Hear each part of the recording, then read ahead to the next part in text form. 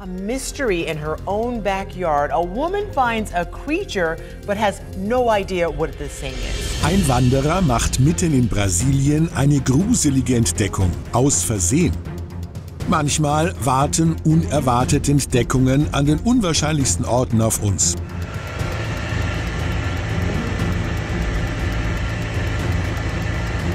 Tief im üppigen Dschungel und in der zerklüfteten Landschaft Brasiliens machte ein Wanderer kürzlich eine erschreckende Entdeckung, die sich nicht erklären lässt. Begib dich mit uns auf eine Reise ins Unbekannte und lüfte die Geheimnisse hinter den gruseligen Entdeckungen,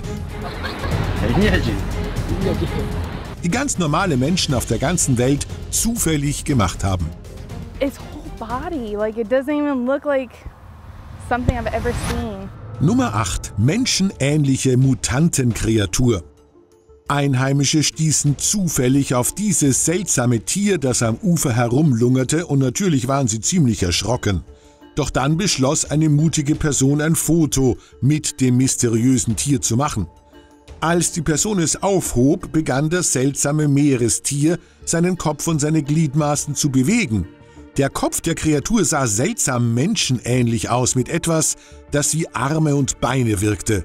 Und dann kamen die Verschwörungstheoretiker, die davon überzeugt waren, dass es sich bei dieser Kreatur nicht um irgendein Meerestier handelt, sondern um einen Außerirdischen, der sich in unseren Meeren versteckt. Einige dachten, dass diese seltsame Kreatur nur ein mutierter Schwamm oder Seestern sein könnte. Und dann gibt es noch die Skeptiker, die sagen, das Video sei wahrscheinlich nur erfunden, um Aufmerksamkeit zu erregen. Nummer 7. Eine mysteriöse Kreatur vor dem Haus gefunden. Eine amerikanische Frau bekam einen Riesenschreck, als sie zufällig diese gruselige Entdeckung machte. Sie sah eine seltsame, achtbeinige Kreatur vor dem Haus ihres Freundes. Haley Graff aus University Place, Washington, flippte aus und wandte sich schnell an Facebook, um Hilfe zu bekommen. An einem Mittwochnachmittag postete sie ein paar gruselige Fotos von der Kreatur und fragte, was um alles in der Welt ist dieses gruselige Ding? Vielleicht ein Alien? Kann jemand helfen?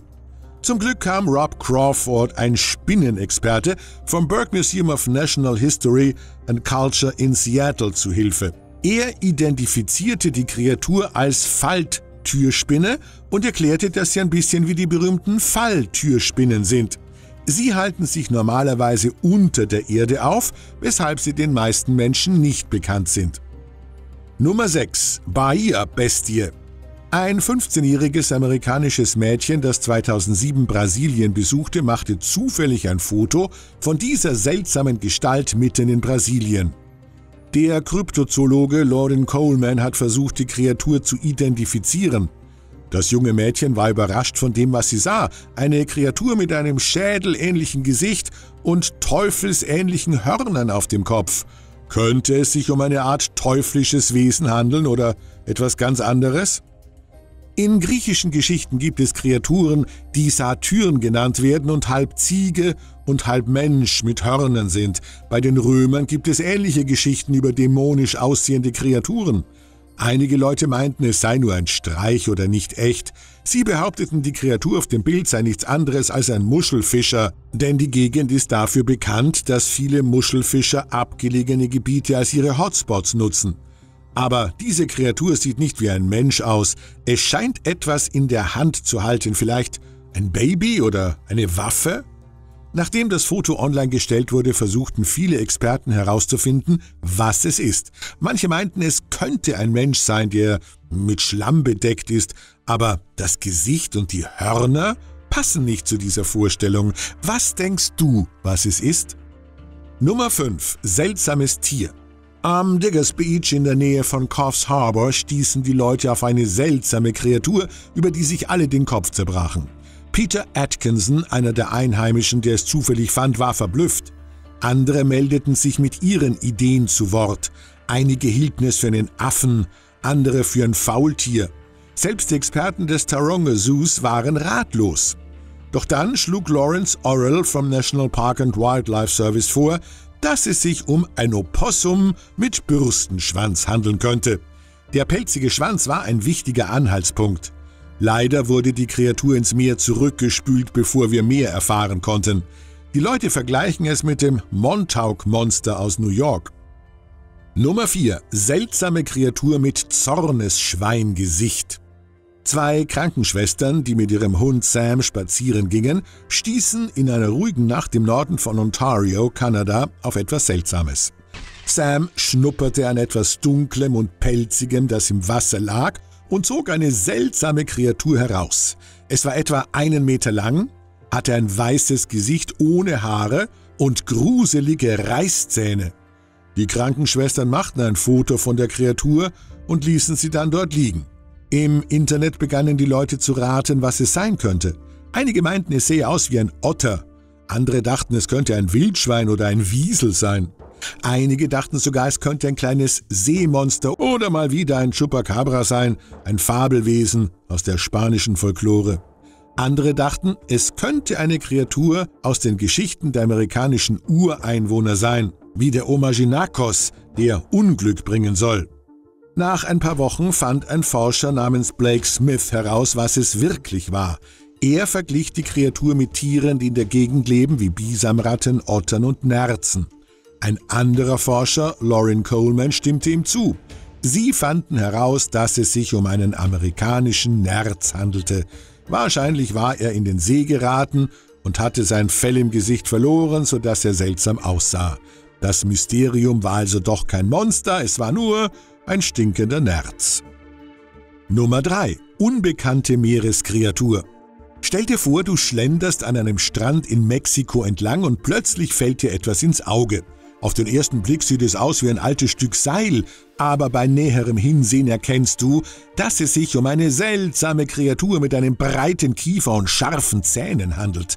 Dieser merkwürdige Fund wurde an der Küste von Sinaloa in Mexiko angespült und von einer Frau namens Beatriz Morales Azuna entdeckt. Sie teilte Bilder der Kreatur im Internet und löste damit eine Menge Verwirrung und Spekulationen aus.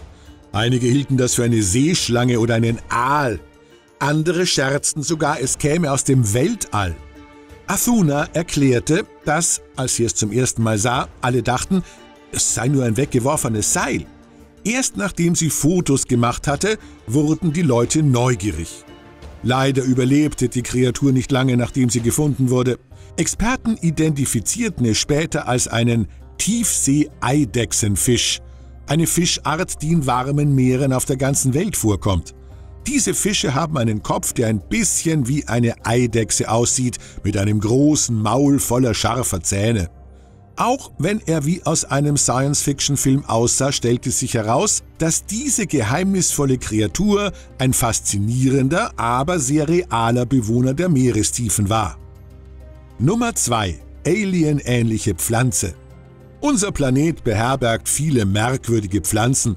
Vor kurzem wurde ein Foto einer beunruhigenden Pflanze im Internet gepostet, das für Aufregung sorgte. Ein Strandbesucher teilte ein Bild der ungewöhnlichen Pflanze auf Facebook und viele glaubten, dass sie etwas Außerirdischem ähnelt. Experten klärten jedoch auf, dass es sich lediglich um eine Unterwasserpflanze handelt. Diese merkwürdige Pflanze, die einer außerirdischen Kreatur ähnelt, wurde mitten an einem australischen Strand entdeckt. Jemand machte Fotos und teilte sie auf der Suche nach Antworten auf Facebook. Der Beitrag erhielt zahlreiche Likes und Kommentare. Einige waren erstaunt über das Aussehen der Pflanze und meinten, sie könnte von einem anderen Planeten stammen. Andere hielten sie für eine Seetulpe. Sie erklärten, dass diese in Australien weit verbreitet sind. In einer humorvollen Bemerkung verglich eine Person die Seetulpe mit einem Gehirn, an dem noch eine Wirbelsäule hängt. Seetulpen haben verschiedene Farben wie Orange, Lila, Gelb und Rosa. Ihre holprige Textur kommt von den Schwämmen, die auf ihnen wachsen. Nummer 1. Meerjungfrauen-Blob. Im September 2023 geschah etwas Seltsames und Unerwartetes an der Küste von Papua-Neuguinea. Die Menschen auf der Insel Simberi fanden eine seltsame Kreatur. Manche meinten, es sähe aus wie eine Meerjungfrau, aber Experten hielten es für ein Meerestier. Sie konnten nicht genau sagen, was es war, weil es zu sehr verwest war. Das heißt, zu alt und es zerfiel. Also vergruben sie es, ohne genaueres herauszufinden. Einige wie Eric Hoyt und Jens Curry vermuteten, dass es sich bei dem Tier um einen Dugong handelt, einen häufigen Bewohner der flachen Gewässer bei Simbury Island. Die Wissenschaftler nannten es einen Globster oder Blob, weil es schwer war herauszufinden, was es war. Andere vermuteten, dass es ein Wal oder ein Delfin sein könnte, aber sie waren sich nicht sicher. Man hat schon andere seltsame Kreaturen an Stränden gefunden, wie das Montauk-Monster und haarige Kleckse auf den Philippinen und in Russland. Aber trotz all dieser Entdeckungen wissen wir immer noch nicht, was die Kreatur auf Simberi Island wirklich war.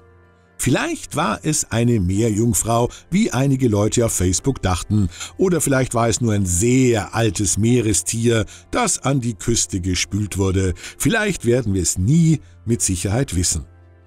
Welche dieser Entdeckungen hat dich am meisten erschreckt? Lass es uns im Kommentarbereich unten wissen. Abonniere und like das Video. Schau dir unseren Kanal für weitere interessante Filme an. Danke fürs Zuschauen und bis zum nächsten Mal.